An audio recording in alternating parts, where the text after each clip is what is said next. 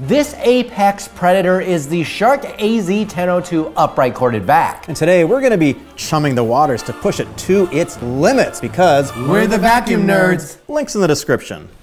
The Apex has a clever head with two rollers they call Duo Clean. The bristle brush roller is more effective for carpets, and the other soft brush roller is designed to sweep up tiny bits of dirt on hardwood or tile and do a light polish on the floor. It also has a brush design that's supposed to be anti-tangle on hair and fur. In our experience, it didn't work as well as advertised but the head design does create really good, strong suction on carpets and hard surfaces. Now it's supposed to come with noise reduction technology, but in our testing it actually came back at 83 dB, so it's pretty loud.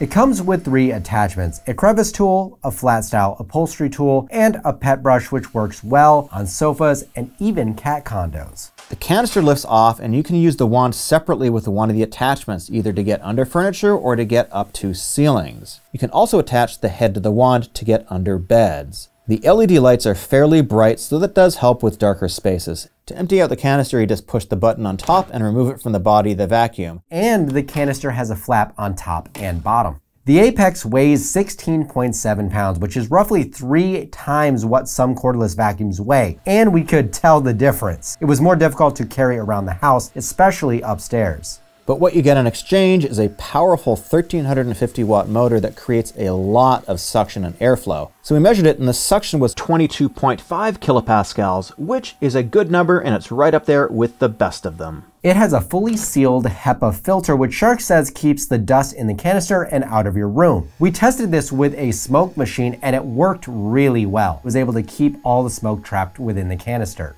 But now, let's go chum the waters and find out what this shark is really made of.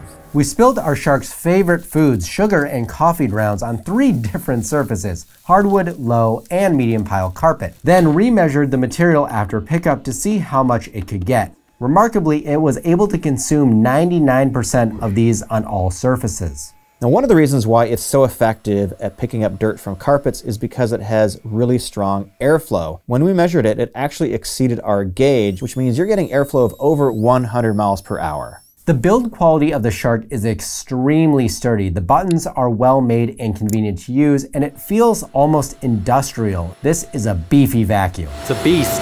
The lift away feature does reduce some of the weight on the vacuum, but if you're trying to clean stairs, it's actually kind of cumbersome.